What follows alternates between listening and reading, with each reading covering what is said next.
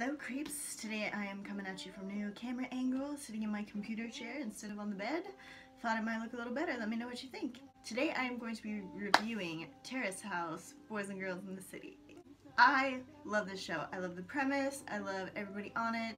Of course, it's kind of an old idea to have three boys and three girls living together in the same house and see how they interact. But being that it's from Japan, you get the Japanese culture twist. So while there is drama, it's not as annoying and obnoxious as like American dramas are. Like there's no fist fights and name calling and that kind of stuff. It's more subtle and therefore you can kind of empathize with the characters a little more. So this show also has presenters Dana Triendl and Tokui Yoshimi and some other comedians that they cut in in between the show, maybe two or three times per episode, and they give their commentary about what they think is happening.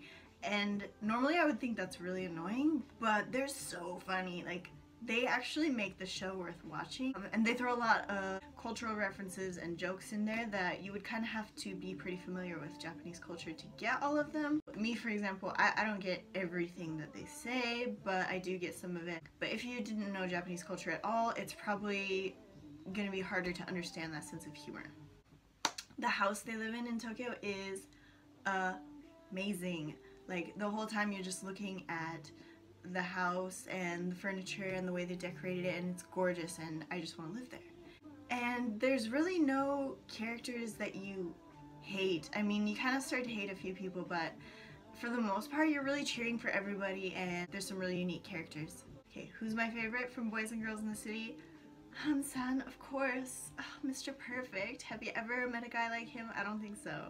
Also, the fact that they're real people, you can actually meet them in the streets or go to the shops where they work. It kind of shows where they work and you could go meet and stalk them if you wanted to. And I know some people who have.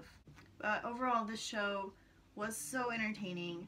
10 out of 10. I'm addicted to it. I watched um, both parts back to back and I'm watching Aloha State now. Of course, it's not over, but I'm loving that too. So if you love Japanese culture, if you like reality TV, if you like Japanese comedy, then this is a good show for you. Yeah, pop some popcorn, make a cup of tea, and put on Terrace House Boys and Girls in the City. You'll love it. So that's my review of Terrace House Boys and Girls in the City. Hope you guys enjoyed it. Let me know what you guys thought about it down here. Let me know if you're watching Aloha State. I'll see you guys next time.